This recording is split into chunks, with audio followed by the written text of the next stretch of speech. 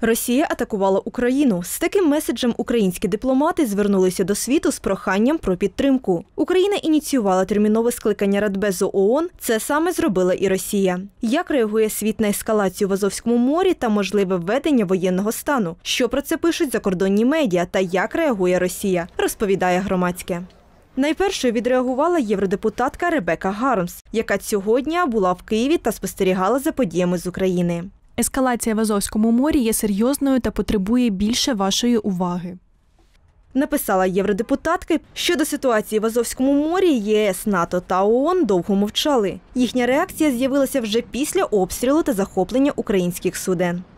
Ми очікуємо, що Росія відновить свободу проходу Керченською протокою та закликаємо всіх діяти стримано, щоб негайно знизити ескалацію. Наголосили в зовнішньополітичному відомстві ЄС. В НАТО також засудили дії Росії. Петро Порошенко провів розмову з генсеком НАТО Енсоном Столтенбергом. Вони домовились про термінове скликання надзвичайного засідання комісії Україна НАТО через агресію Росії.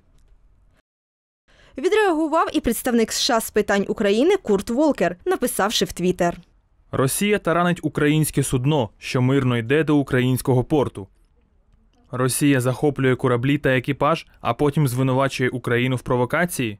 Крім цього, засудили агресію та закликали до деескалації в Польщі, Франції, Німеччині, Туреччині, Канаді, Литві, Латвії, Естонії, Фінляндії та інших країнах.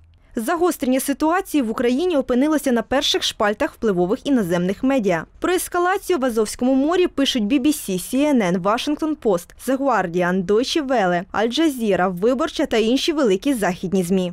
У більшості матеріалів наголошують на тому, що Росія захопила українські кораблі в Азовському морі. Водночас BBC, приміром, фокусується на можливому введенні воєнного стану та зростанні напруги в Україні.